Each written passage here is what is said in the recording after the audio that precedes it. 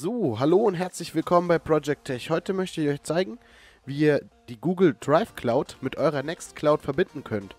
Vorteil daran, alle Dateien, die ihr über die Nextcloud in die Google Drive Cloud bringt, werden verschlüsselt abgelegt. Also Google, die Datenkrake, sieht quasi nicht, was ihr in der Cloud von Google selbst ablegt. Vorteil an der Sache, 15 GB extra Speicherplatz. Vielleicht wollt ihr ja externe Downloads anbieten oder oder oder. Das könnt ihr dann alles über das Google Drive erledigen und habt schönes übersichtliches Management komplett in der Nextcloud. Als allererstes geht ihr auf Google und zwar auf Google Drive. So, jetzt habe ich mich etwas verschrieben und versprochen. Einmal auf Google Drive zu Google Drive gehen und hier mit eurem Google Drive Account einloggen. So, wenn es dann so aussieht, dann habt ihr im Prinzip die Google Drive Cloud eingerichtet. Jetzt können wir uns daran machen, die zu verbinden. Ihr loggt in eure Nextcloud ein und zwar mit dem Admin-User. Jetzt klickt ihr oben auf Datei und auf Apps. Wenn ihr jetzt unter dem Reiter aktiviert seid, könnt ihr die Liste mal durchsuchen und wenn ihr die App External Storage Support seht, sollte die aktiviert sein. Die ist aktiviert, wenn man deaktivieren anklicken kann. Falls nicht, einfach unter nicht deaktiviert raussuchen und die entsprechende Applikation aktivieren.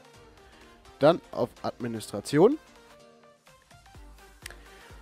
Jetzt auf der linken Seite auf externen Speicher klicken. Und hier unter dem Menü können wir jetzt die Google Drive Cloud hinzufügen. Dann einmal auf Speicher hinzufügen. Und hier sehen wir schon relativ viel. WebDAV, DAV, SFTP, OpenStack, Nextcloud, Lokal, Google Drive, FTP, Dropbox, Amazon S3 Cloud. Könnte man alles vernetzen mit der Cloud und hätte quasi ein zentrales Management. Jetzt nehmen wir mal das Google Drive. Authentifizierung OAuth 2 ist soweit okay. Und jetzt brauchen wir die Client-ID und eine geheime Zeichenkette. So. Und die müssen wir uns jetzt erst erstellen. Und zwar über die Google API-Konsole. Hierzu klicken wir auf das kleine Zahnrädchen rechts von Google Drive. Und jetzt kommen wir in die API-Konsole. Hier bitte einmal sicher gehen, oben links einmal auf euren Benutzer klicken, dass es auch der gleiche Benutzer wie der Google Drive Benutzer ist. So, dann klickt ihr oben rechts neben Google APIs erstmal auf Projekt erstellen. Und dann erstellt ihr euer Projekt. Ich nenne es jetzt einfach mal Nextcloud. So, erstellen.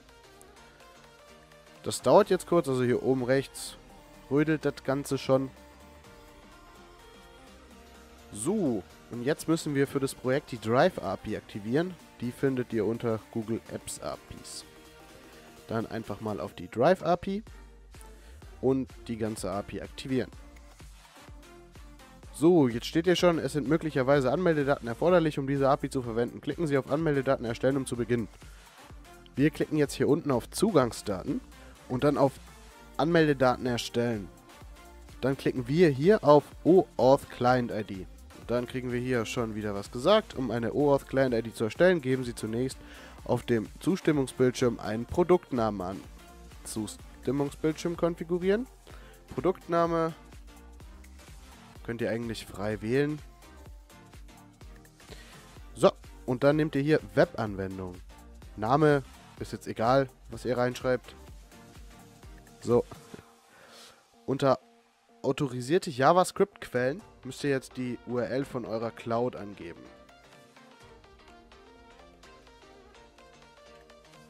Und einmal mit Enter quittieren. Autorisierte Weiterleitungs-URLs. Hier müsst ihr jetzt drei spezielle URLs eingeben, und zwar die hier. So, und ptcloud.de ersetzt ihr natürlich immer mit eurer Cloud. Wenn ihr keine Verschlüsselung betreibt, müsst ihr natürlich das S hier wegziehen.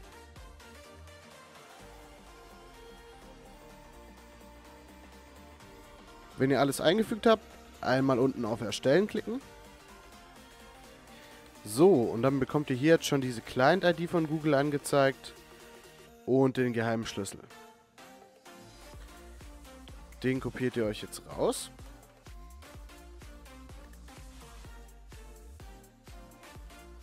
So, ich kopiere das immer raus auf ein externes Dokument und zwar aus dem Grund, weil Google vorne und hinten immer Leerzeichen einfügt. Dann kopieren wir das Ganze, legen einen Google Drive an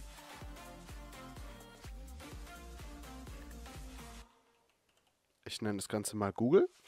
Dann die Client-ID.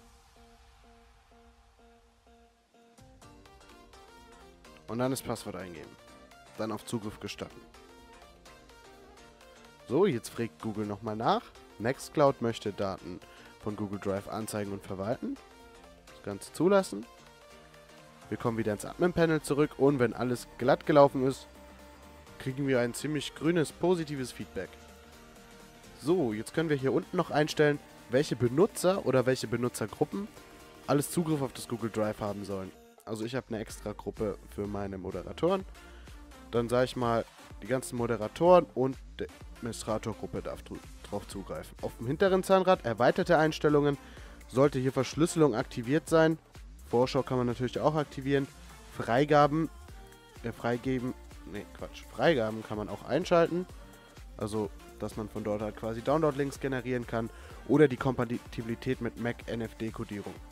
Das hat man nicht zu empfehlen, ist langsam und ist wirklich langsam. So, auf Änderungen prüfen, einmal bei jedem Direktzugriff.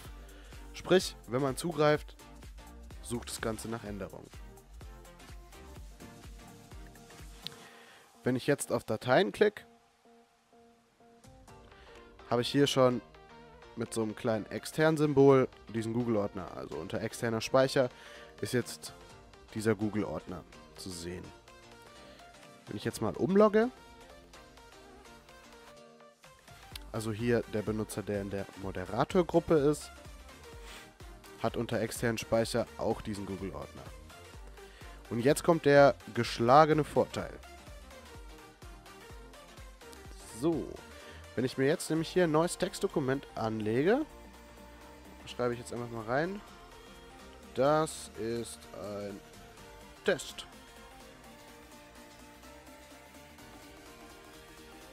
So. Und wenn ich das ganze Dokument jetzt hochlade, das dauert jetzt kurz.